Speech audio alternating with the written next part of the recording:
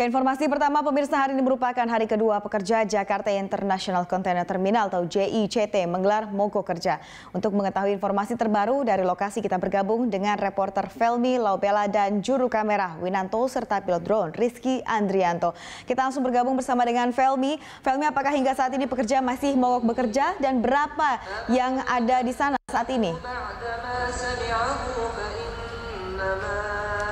Ia terkait dengan aksi mogok hari kedua dari Serikat Pekerja atau Karyawan Jakarta International Container Terminal yang berlokasi di Tanjung Priok, Jakarta Utara masih dilakukan aksi mogok dan memang seperti hari kemarin layaknya hari kedua masih dipenuhi oleh banyaknya atau ratusan uh, karyawan yang melakukan aksi mogok kerja langsung di depan kantor JICT ini sendiri atau di depan lobi kantor ini. Dan dapat saya informasikan bahwa memang uh, jumlah karyawan yang melakukan mogok atau aksi mogok ini tidak sebanyak kemarin. Jika kemarin dapat saya informasikan bahwa jumlah karyawan melakukan mogok itu sebanyak 600 lebih orang. Berbeda dengan hari ini, berbanding dengan hari ini memang agak agak terlihat sedikit uh, lebih sedikit maksud saya tidak ber, uh, sebanyak hari kemarin. Namun aksi ini akan terus dilakukan mengingat bahwa rencana dari perwakilan serikat uh, pekerja dari JICT ini sendiri yang menyatakan bahwa aksi ini akan tetap dilakukan selama sepekan dimulai dari hari pertama kemarin tanggal 3 Agustus 2017 dan akan berlangsung atau berakhir sampai dengan tanggal 10 Agustus mendatang.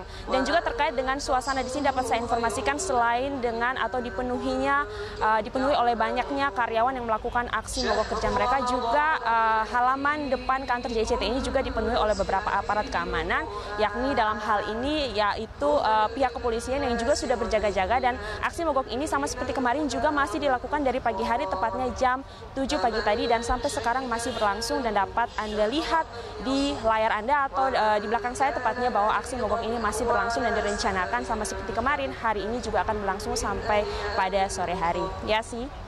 Ya, Felbi, salah satu tuntutan para pekerja ini adalah mengenai perpanjangan kontrak dan sudah adakah komunikasi antara pekerja dengan pihak JICT sendiri?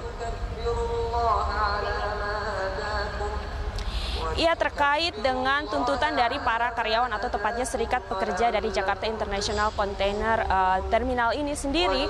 Memang sudah dilakukan uh, tuntutan dari beberapa waktu yang lalu. Tepatnya surat ini surat aksi mogok kerja ini sudah dilangsungkan atau dilayangkan pada tanggal 21 Juli bahwa akan ada aksi mogok kerja selama sepekan dari tanggal 3 sampai tanggal uh, 10 Agustus nanti. Terkait dengan tuntutan apa saja dan uh, bagaimana respon dari pihak terkait memang sampai dengan saat ini kami belum mendapat informasi secara resmi dari pihak direksi khususnya dari pihak uh, eh, JICT ini sendiri. Namun dari pihak yang menuntut atau dari Serikat Pekerja JICT ini sendiri memang ada beberapa hal yang mereka tuntut di sini dan memang sempat dilakukan mediasi begitu sekitar jam 9 pagi tadi dan memang sampai dengan saat ini belum ditemukan win-win solution atau solusi atau jalan tengah dari kedua belah pihak ini sendiri. Sehingga dari uh, pihak dari uh, Serikat Pekerja dalam hal ini Serikat Pekerja JICT ini sendiri uh, beberapa hal yang bisa saya beritahu dilakukan terkait tuntutan mereka yakni terkait dengan perjanjian kontrak bersama yang telah dilakukan juga terkait dengan tabungan investasi berjangka dan juga hal yang dituntut yaitu terkait dengan bonus tahunan.